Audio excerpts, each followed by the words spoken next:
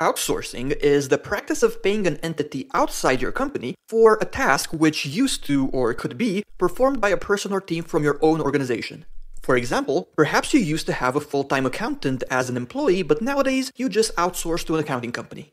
Many believe outsourcing has to involve hiring foreign companies, but that is incorrect. One can outsource to domestic as well as foreign entities. The term you should be using to describe the delegation of certain tasks abroad is offshoring, whereas the term you can use to describe delegation within the same country is onshoring. To be even more specific, you can use the term nearshoring when referring to offshoring to a nearby country, or farshoring if the country in question is, well, far away. To keep it simple, A. Outsourcing equals offshoring plus onshoring, and B. Offshoring equals nearshoring plus farshoring. Or, in other words, 1. A US company delegating tasks to another US company is onshoring. 2. A US company delegating tasks to a Mexican company is offshoring, and since Mexico is nearby, the even more precise term would be nearshoring.